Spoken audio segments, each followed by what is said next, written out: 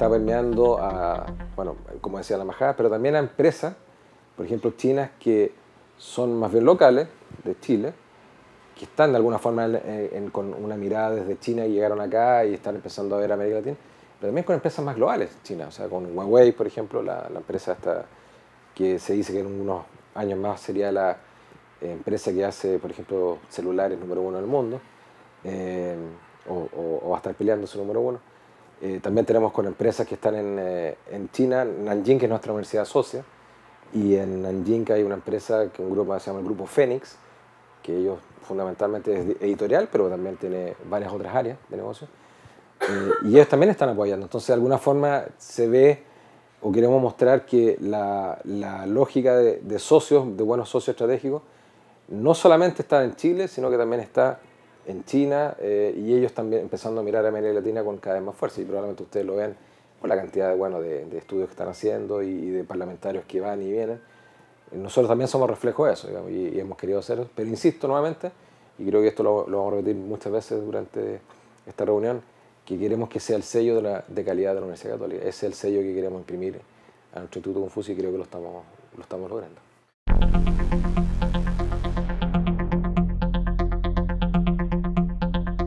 Continúa, yo diría, con mucha fuerza y cada vez más fuerza.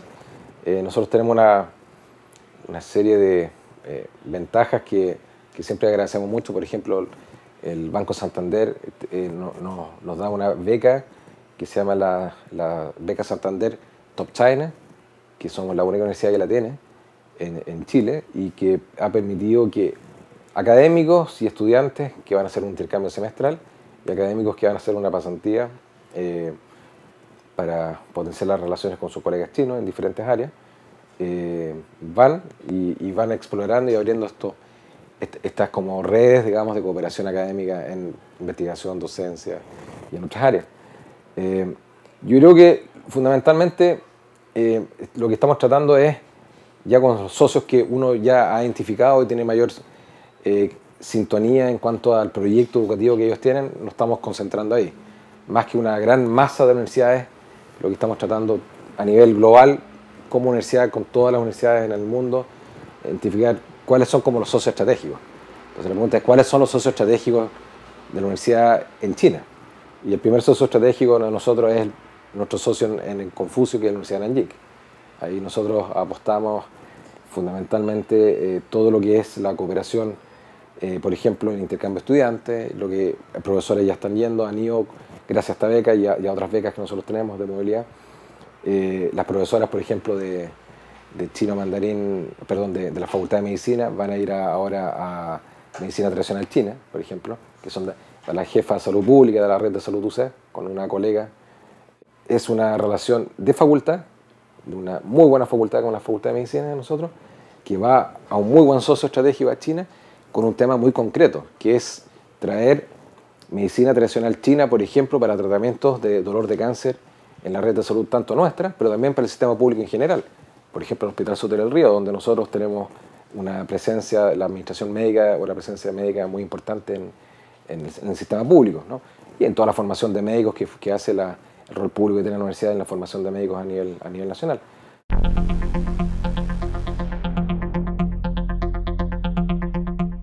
Ya tuvimos una muy importante que fue el, el puente chino, que fue una eh, que es el clásico eh, evento donde los niños, o sea, los jóvenes universitarios muestran su capacidad de haber aprendido chino, entonces tanto forma oral, como también tienen que hacer una obra artística, o un, número artístico, digamos. Eh, lo tuvimos para el nivel de los universitarios, que fue hace dos semanas atrás más o menos, lo tuvimos acá en, Casa Central. Eh, ahora, en un par de semanas más, vamos a hacer lo mismo en alianza con el Ministerio de Educación para los niños secundarios, o sea, porque hay mucho profesor chino, mucho programa chino en, en, colegios eh, del Estado donde se está enseñando, por ejemplo, el Instituto Nacional y otros más. Entonces se hace el mismo concurso, ahora para niños de, la secundaria, de nivel secundario. Eh, bueno, viene este, este evento que mencionábamos nosotros de canto, el festival de, de canto para, jóvenes chinos y para jóvenes chilenos. Eh, siempre participamos, por ejemplo, en eventos en, las semanas culturales de diferentes municipios a lo largo y ancho de Chile. Por ejemplo, Rancagua, por ejemplo, Temuco. Eh, vamos a empezar con un punto de enseñanza en la Universidad Católica de Temuco, por ejemplo, eh, donde también para nosotros es muy importante no abarcar tanto, no tenemos esas capacidades, porque yo siento que cuando uno abarca demasiado, eh, aprieta poco, como se, se, dice en chileno, entonces la verdad que se pierde un poco la calidad, y nosotros lo que, que siempre queremos resguardar es la calidad. pero estamos buscando algunos puntos que sería Temuco, probablemente va a ser Concepción el, el otro punto.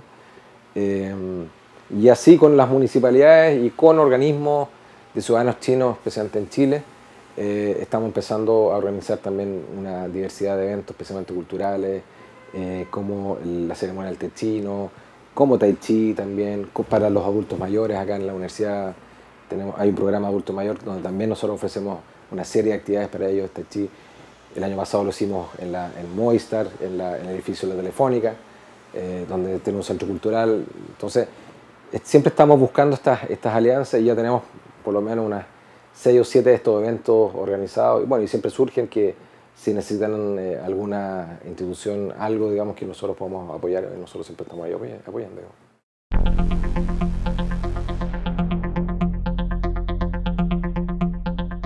Un proyecto muy, muy interesante que se abrió acá en la, universidad, que es un proyecto eh, a cargo de Francisco, Vergara, trabajando fuerte con la rectoría que es tanto en las cárceles de mujeres se abrió una biblioteca escolar, en la casa abierto, en el fondo es acercar la biblioteca a toda la comunidad, pero especialmente a los niños.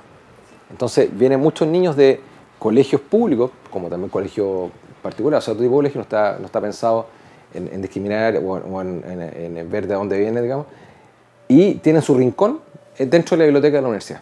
Entonces primero los alumnos, nuestros alumnos universitarios miraban, pero como que raro, ¿no? Con muchos niños niño acá.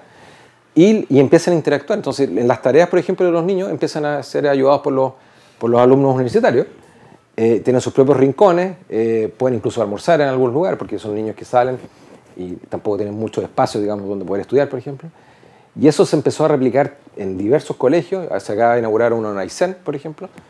Eh, y nosotros vamos a tener un rincón chino, porque hay un rincón inglés, vamos a tener un rincón chino pensando para ellos. Entonces, pues niños van a poder aprender literatura eh, china, de cuentos, de, cine, de historias, digamos, para, para, ellos.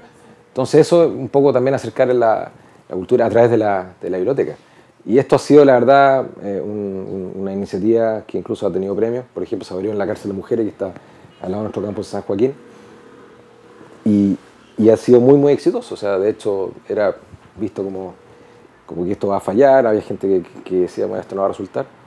Eh, y la verdad que ha sido un, éxito rotundo, espacios de verdad, digamos, de, crecimiento, de esparcimiento, de, de, una suerte de libertad para personas, por ejemplo, que están eh, privadas de libertad, que ha sido eh, increíble.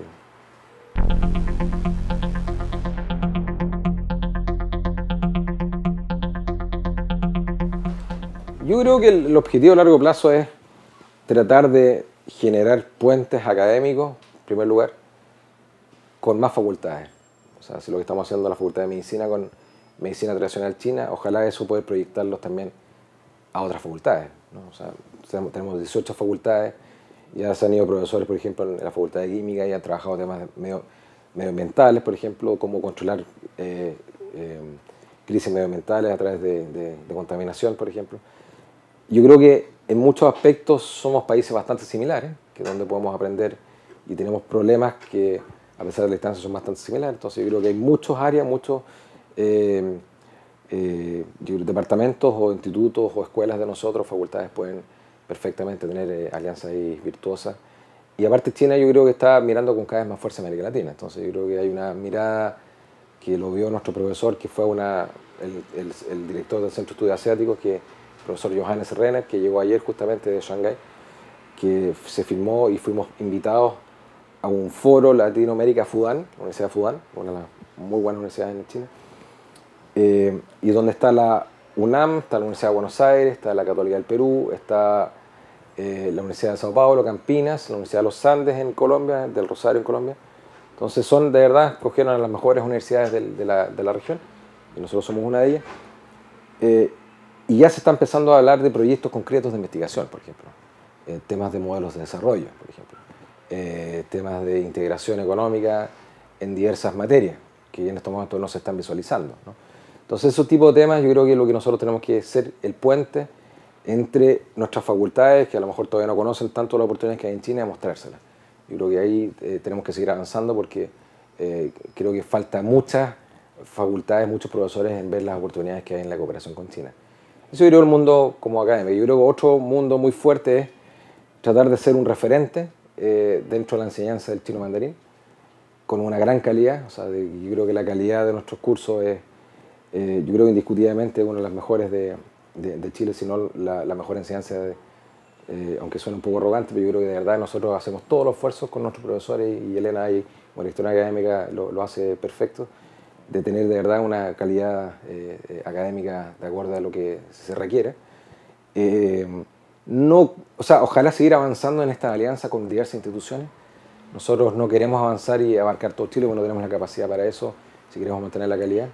pero sí tener un par de puntos de enseñanza a lo largo de Chile, como te decía, probablemente Temuco, Concepción, quizás Coquimbo, eh, y quizás eh, Valparaíso, ahí estamos en, conversaciones.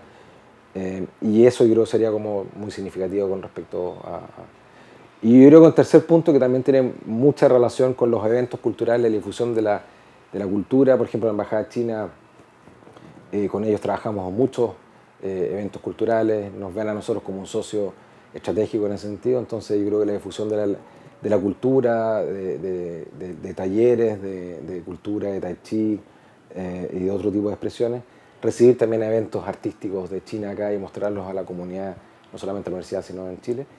Y muy vinculado a eso, ser también, seguir siendo y ojalá potenciar ser un referente para la comunidad china en Chile.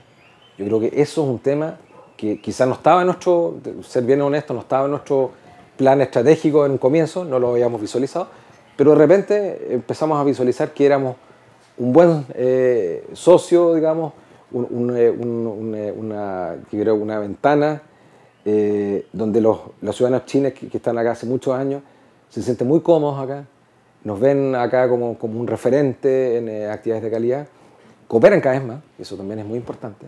Siempre vemos una lógica de cooperación y yo creo que esa relación, la verdad que yo la, la, agradezco y la celebro mucho, y siempre lo decimos cuando tenemos algún evento. Eh, que agradecemos mucho la confianza que ellos nos vean como una suerte de segunda casa dentro de, la, de Chile, donde probablemente quizás no hay tantos espacios para ellos para disfrutar de, para sentirse más en casa. Y eso de alguna forma también habla que estamos haciendo las cosas bien.